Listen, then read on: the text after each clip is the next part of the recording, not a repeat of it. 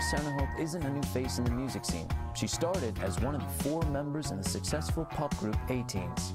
Seven years later, she embarks on her international solo career. After meeting up with the world-famous producer and songwriter Jörgen Olofsson, they have now put together an amazing and unique pop sound. 2006 will see the introduction of a new pop star.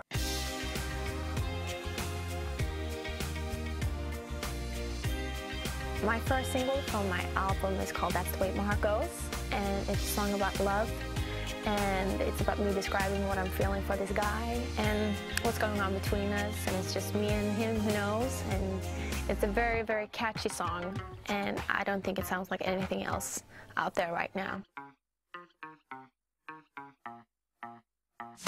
Uh, the concept for my video is we wanted nice colors and a lot of energy.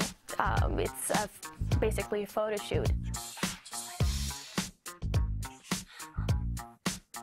Since A-Teens took a break, I, I took a break as well. I just relaxed at home. I was with my family and my friends and taking it all in because I was in this bubble for many years and you were just working every day and you didn't realize what you were doing really. Uh, I've been modeling a bit. I've been the face for Maybelline in Sweden. I've done some voiceovers for animated movies and I started to feel a little bit frustrated and I wanted to get back in the studio again and that's when I called Jörgen. Yeah, and after our first meeting we decided to make a whole album together. So um, yeah, I've been working for a year now on the album and it all feels so great.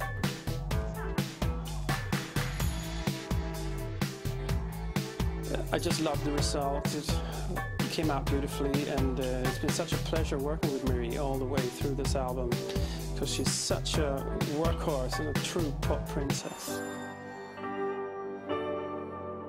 I knew that I wanted to do a, a pop album and Jörgen was very pleased with that because he loves pop as much as I do and we wanted to do an album that kind of a crossover between ABBA and uh, Gwen Stefani, kind of.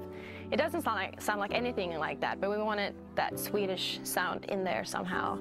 And I think the album sounds very, very fresh and unique, and each song is so strong. And the people that have heard the album have different favorites, so I think everybody's going to find something that they like there.